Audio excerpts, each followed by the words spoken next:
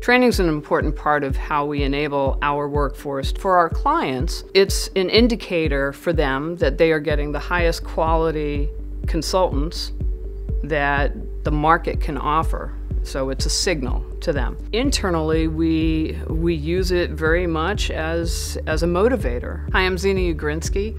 I'm the Senior Vice President of Analytics, Cloud, and Strategy for Booz Allen Hamilton. Our ability to connect our most intellectually curious and certified professionals with some of our clients' toughest challenges is just a perfect match. As clients shift to cloud, many of their uh, staff have to either be repurposed or trained in additional skills. And so our ability to guide them through that journey benefits them, and it also creates a client who has been educated at exactly the right time to do what we're helping them do. So it shortens the path to success, shortens the time to value. Training and the support that our staff get from Booz Allen Hamilton in achieving their certifications is absolutely a driver for uh, retaining staff long term. So continuing to provide them a path for advancement,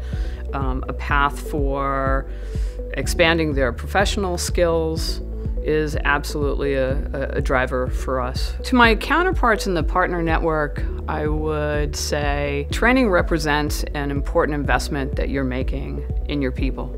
It also represents uh, to the market and to your clients the fact that you are bringing them the, the most educated talent that you can. And it creates an environment where you are more likely to retain your best and brightest.